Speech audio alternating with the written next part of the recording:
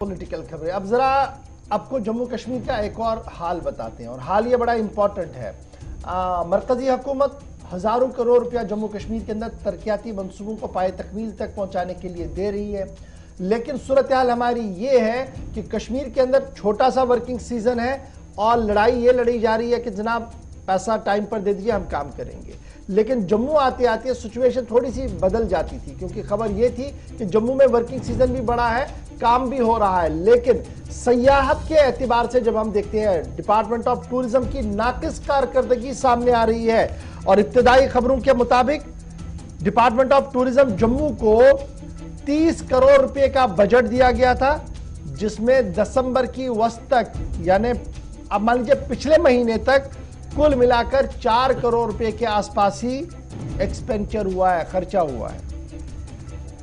Department of tourism सयाहत पर्यटक को बढ़ावा देने के लिए इंफ्रास्ट्रक्चर को डेवलप करने के लिए सिर्फ़ जम्मू प्रोविंस के अंदर बजट एलोकेशन जो दी गई थी that was thirty crore rupees और खर्चा हुआ है जी पिछले महीने तक चार करोड़ रुपये अब इस तीस करोड़ में करना क्या था? ये बड़ा समझने की बात है, क्योंकि जम्मू के अंदर ये जो आवाज़ें नहीं जनाब हमारा काम हो नहीं रहा है।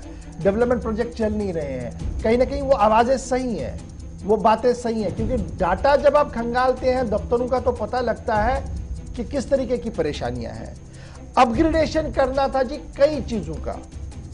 क्रिएशन भी करनी थी, यानी अपग्रेड भी करना था सिस्टम अगर आपने कहीं पास कैफेटेरिया तो उसको और खूबसूरत बनाना था, कहीं पर होटल है तो उसको और रिनोवेट करना था। कई और चीज़ें आपने डेवलप करनी थी जिससे और ज़्यादा सयाह जम्मू कश्मीर की ओर आते। इसके लिए अप्रूवल्स गवर्नमेंट ऑफ़ इंडिया की तरफ़ से दे दी गई। लेकिन माना जा रहा कि सबसे बड़ा लिक्यूना जो है वो मैन पावर है ह्यूमन रिसोर्स है।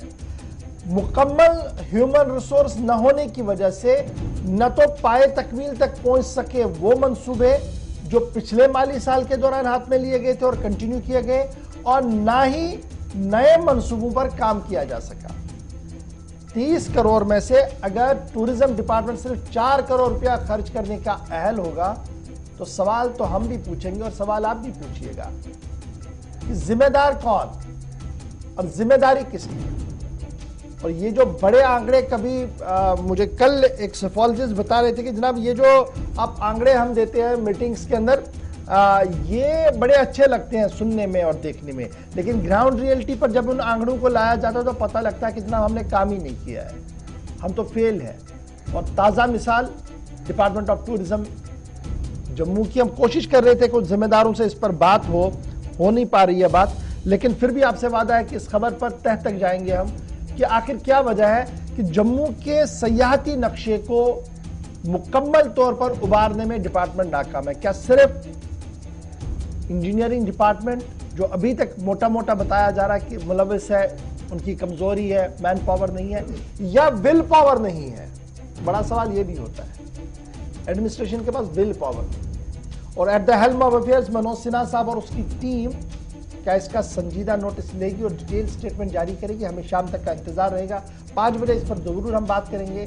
डिटेल्स के साथ आपके सामने दोबारा इस खबर पर हम बात करेंगे। तो ये खबर थी जनाब, तीस करोड़ में से चार करोड़ रुपया खर्च हुआ। हमारा एदाद शुमार है, सरकारी एदाद शुमार क्या होगा? शाम तक हम आप इंतज़ार भी करेंगे। डिटेल के साथ आपके सामने लेकर भी आएँगे। आखिर क्यों? जम्मू के साथ इस तरीके का व्यवहार किया जा रहा है और जम्मू के लोगों की जो आवाज़ है, कितनी जेन्युन इस खबर के बाद बनती है।